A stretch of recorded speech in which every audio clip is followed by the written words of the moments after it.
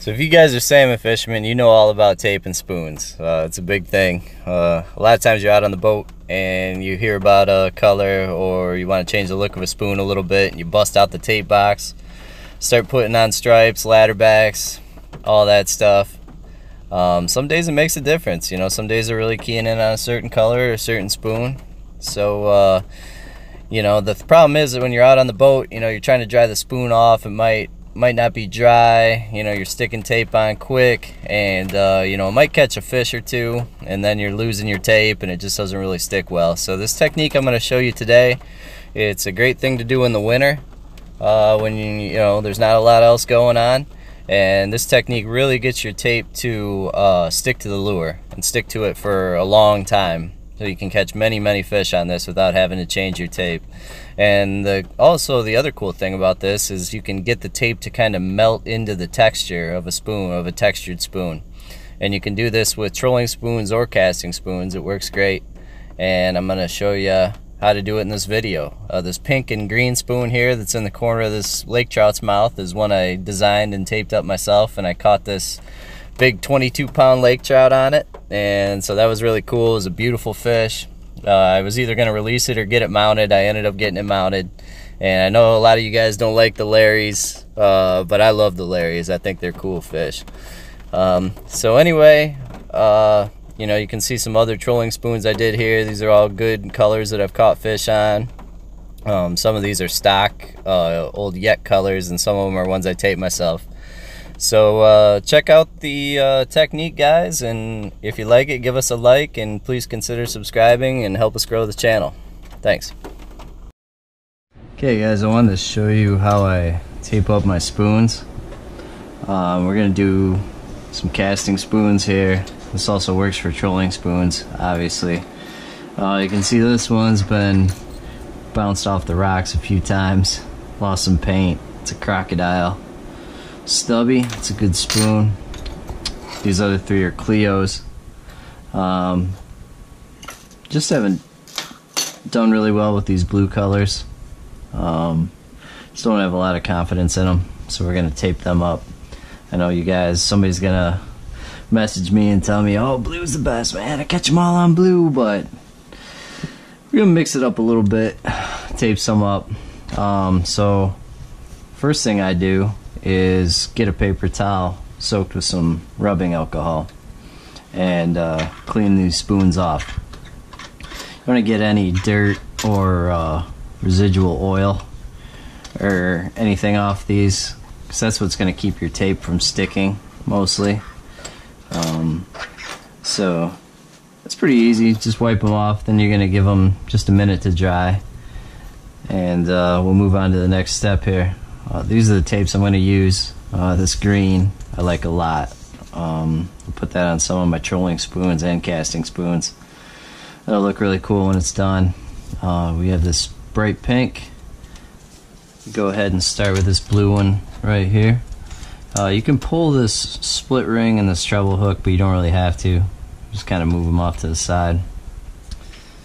And uh, take a piece of tape, cut it so it's long enough. You don't want to waste any, but just make sure it's long enough to cover the spoon. And uh, go ahead and peel your tape. Stick it on here. Just gonna try and roughly follow the paint line here.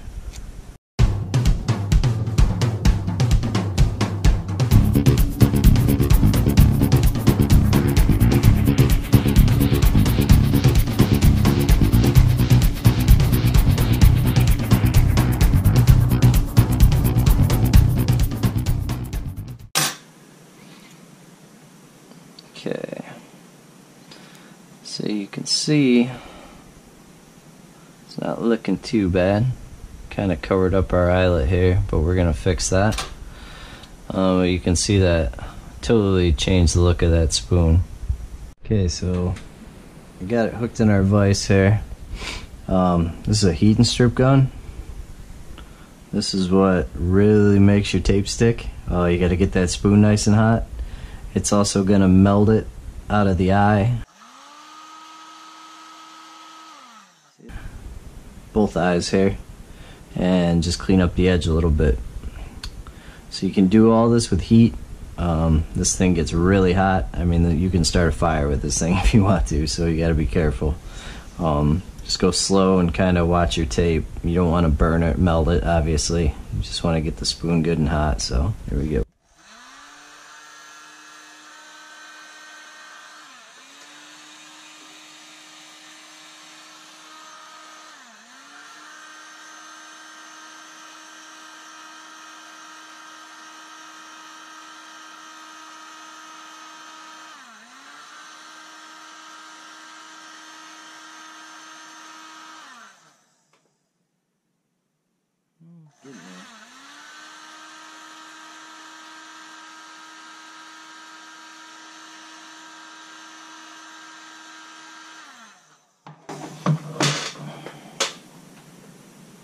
Oh yeah, that's hot. Just kind of work it with your fingers a little bit. I can't hold on to it for too long though, because it's really hot. But this is what's really, really going to make that tape stick.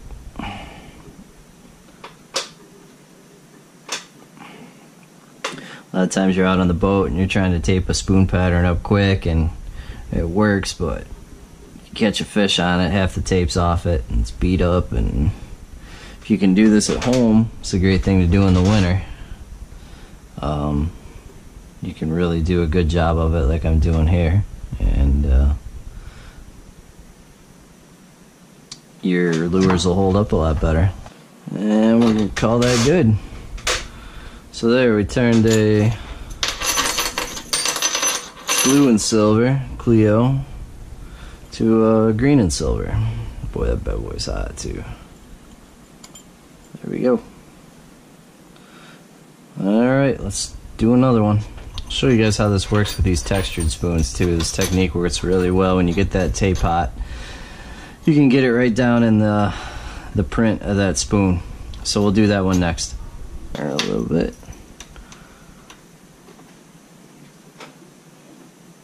There. That's better.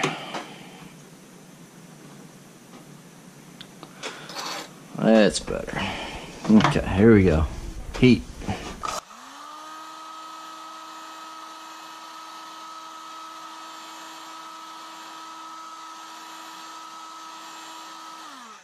Heat it a little bit. You can see already it's starting to uh, take on the texture of the spoon much better.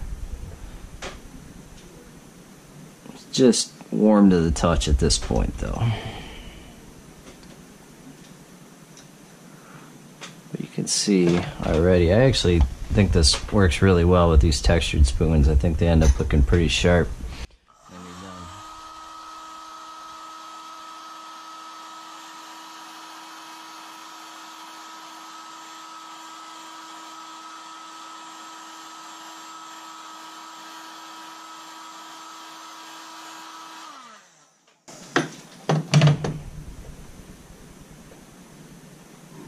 Now it's really sinking into those dimples.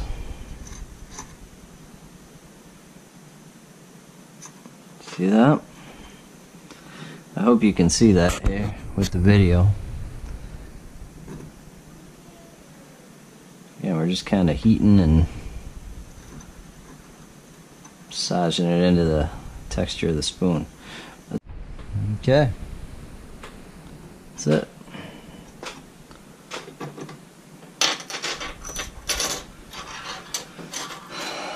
Those two done. Um, let's see. Well, let's do a pink here. Haven't done a pink yet.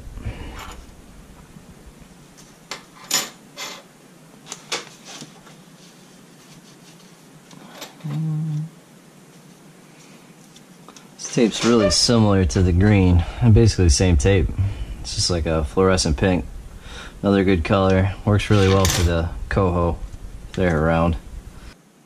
Okay.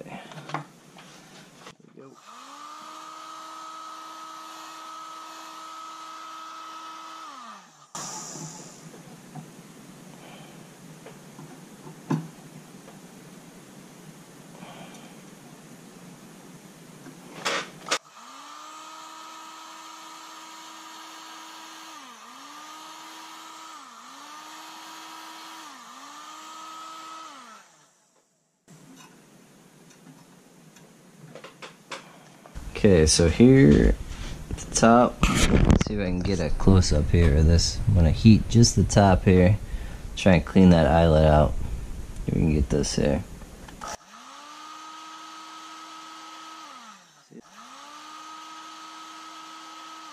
See that? Open right up.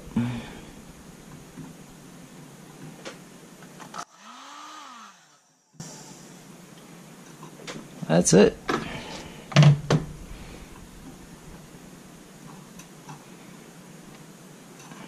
Again, that tape is going to stick to that spoon for a long time. You're going to get a lot of good fishing out of that versus just uh, just doing it with a sort of dry spoon on the boat.